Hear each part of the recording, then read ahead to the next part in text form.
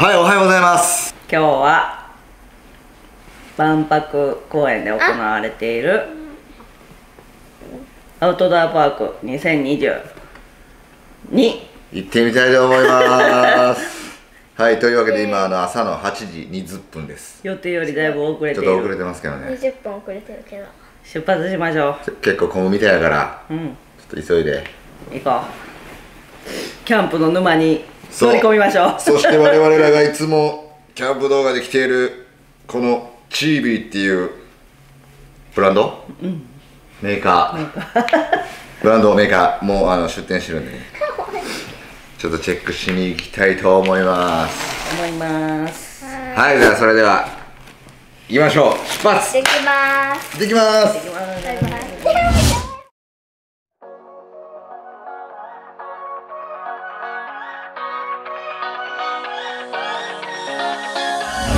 万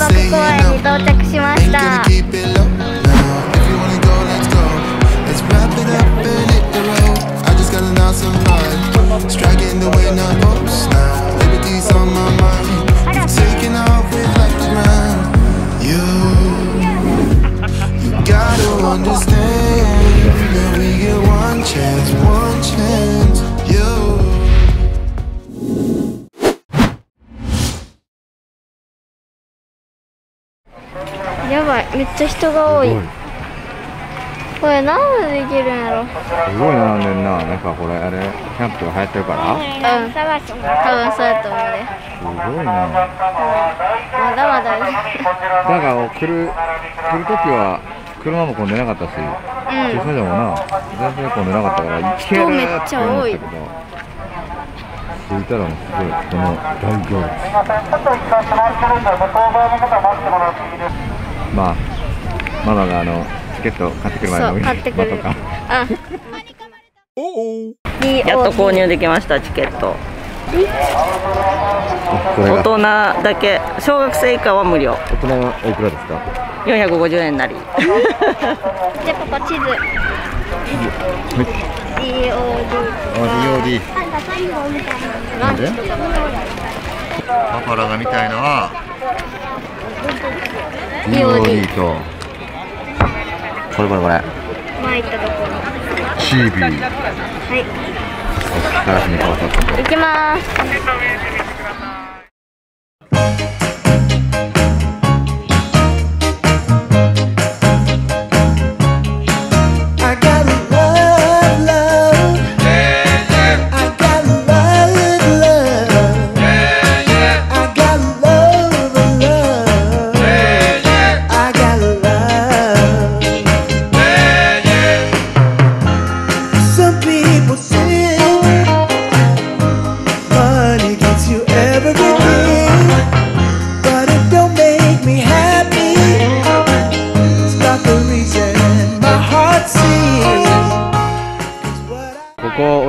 った店。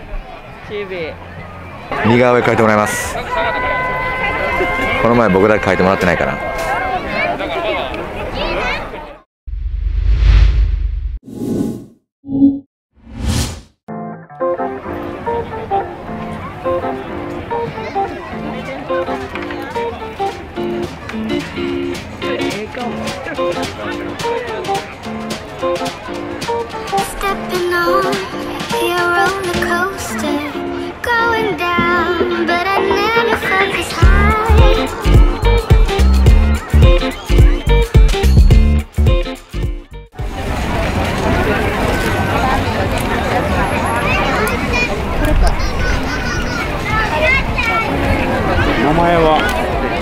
元気です。うお。け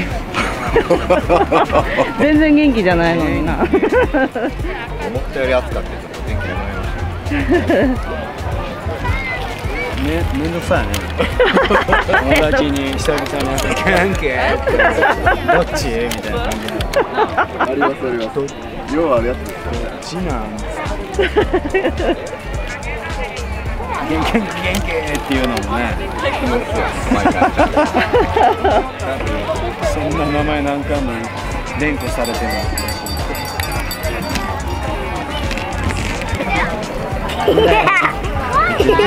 映画いい感じすごいなんかあれみたいだね海賊みたいなおおほんまやリップじゃないですかこれも。出来上がりましたよ。やった海賊風にジョニー・デップ風にしてくれた。やった。ここから隣で。入れます。で栗でもくれるんかと思ったらどんぐりだったんですよ。あそうなんですよ。ありがとうございます。栗もらえるの焼き栗ありがとうございます。応援してますよあぜひまたはいまた。よろしく。また買います。そんな取らないまた買います。誰が見るんですか？ありがとうございます。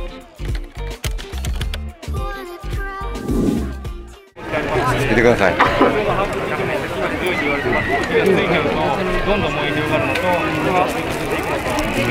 これまさかのビート内藤さんがデザインしたビートキャンプのシェラカップ見てた。収納袋も何年素材です余裕がありますのでいろんなギアと一緒に入れることもできますでサイフォレストグレインこの前動画で見た。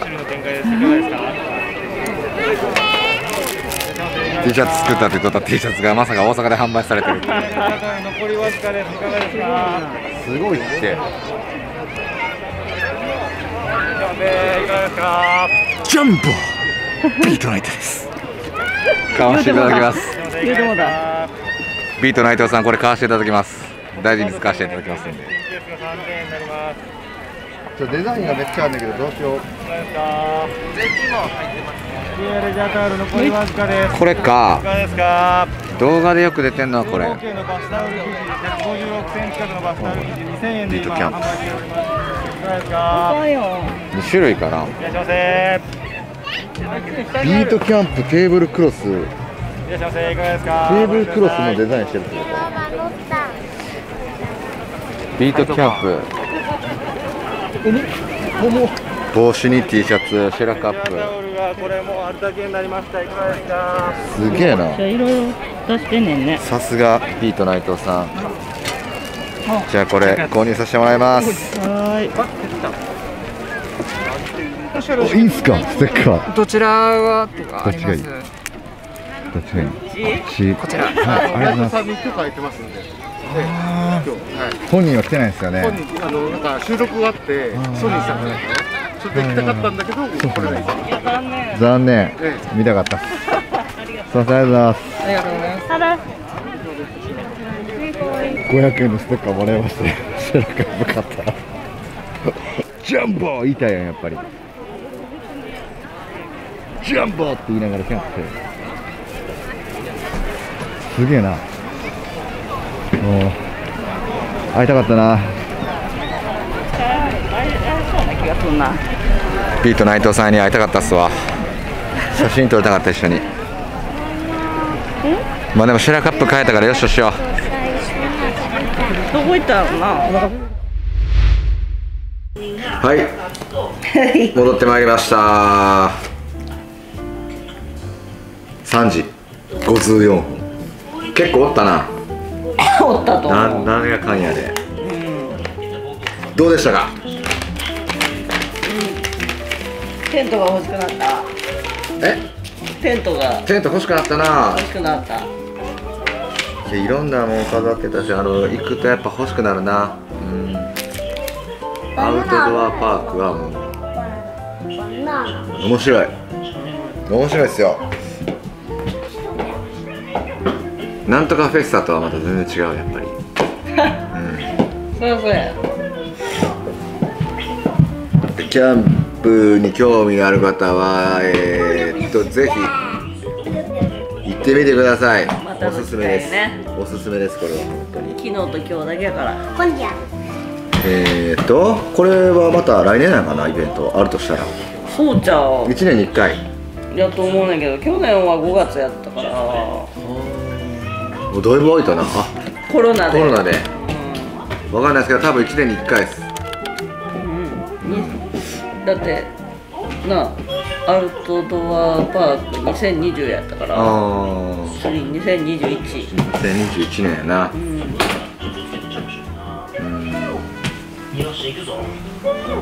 えこれキャンプに興味ある人とか。もうキャンプめっちゃ好きな人とか。うんどっちにもおすすめできるよな。どっちにもおすすめできますよ。これ1年に1回のイベントなんで多分。知らんけど。多分ですよ。えー、っとだからまあこの動画を参考にしてもらってまた来年ある時。行きたいなと思って思ってます